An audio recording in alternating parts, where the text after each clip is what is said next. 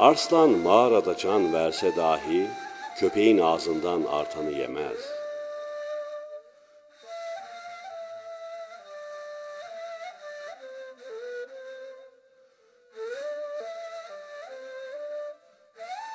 Bütün kötülüklerin karşısında direnç gösterebilen, saf tutabilen, yalnız ve yalnız Allah rızasını gözeterek Allah yolunda hizmet eden insanlara çok da muhtacız.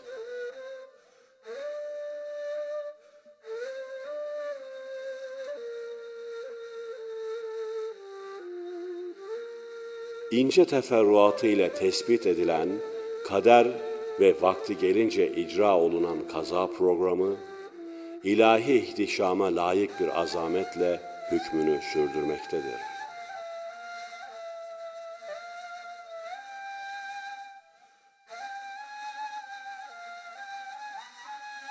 İnsanın en birinci üstadı ve tesirli muallimi onun validesidir.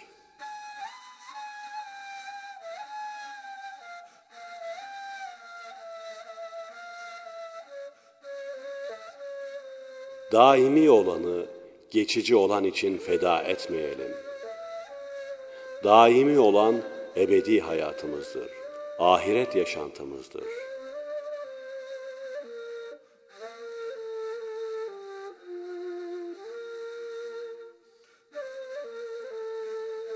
Oruç mevsimi geldiğinde hayatımıza bir rehavet gelir.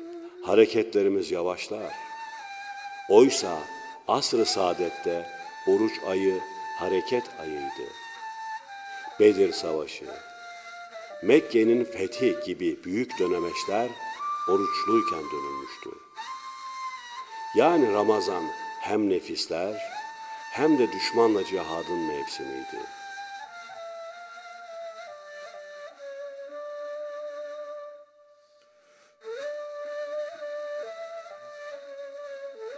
Hatırlayalım da hiçbir zaman halimizden emin olmayalım. Korku ve ümit mihverinde hareket edelim. Yoksa kör bir fitne isabet eder de hem dünyamızı hem ahiretimizi harap ederiz.